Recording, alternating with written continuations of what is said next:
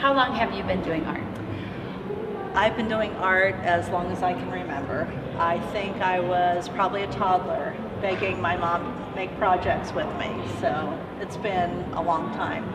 When did you know that was something you wanted to pursue as your your path?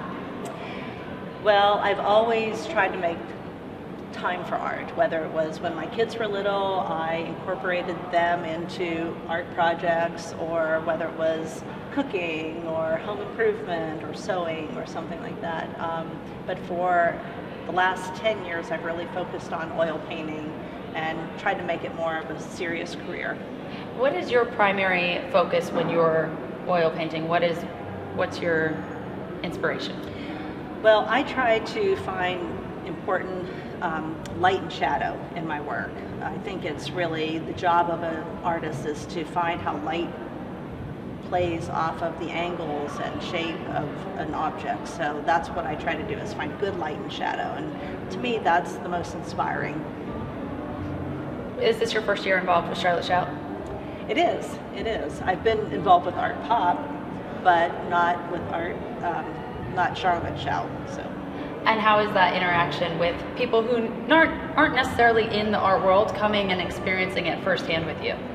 I enjoy it because I think it's wonderful to have families with young children to come up and they show them the art being made or you know different types of art and it's wonderful when a child says, I like to paint too, and they get to talk to an artist or see it being made, and you can just see that the wheels are turning, and they often say, I want to do that too. And the parents are like, okay, as soon as we get home, so you know they're inspired, and that's awesome. Getting them young, getting them started yeah, young, right? Yeah, it's wonderful. Um, what have you seen in Charlotte's blossoming of the arts over the last five, ten years? Well, I have been on the board for Art Pop, and I'm president of the Guild of Charlotte Artists, so I know that it's important for arts to be supported. And we've tried really hard to do that, but we're getting really good feedback, and we're seeing more people joining these organizations. They're saying we want more of that, we want the support, we want the camaraderie, we want the opportunities that those organizations afford, and so I think it's just getting better and better. How long are you going to be at the Art Pop Lounge for Charlotte Shout? I'll be here tonight until about 5.30 and tomorrow from 11 to 7.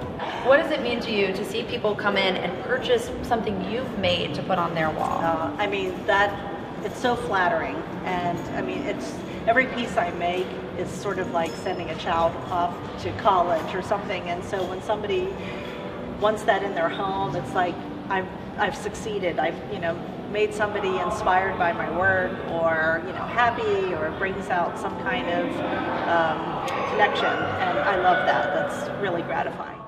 Great. And if people wanted to keep up with you outside of the Art Pop Lounge and outside of Charlotte Shout how would they do that? They can find me on Instagram on TikTok on my website marykamerer.com um, they could Google me.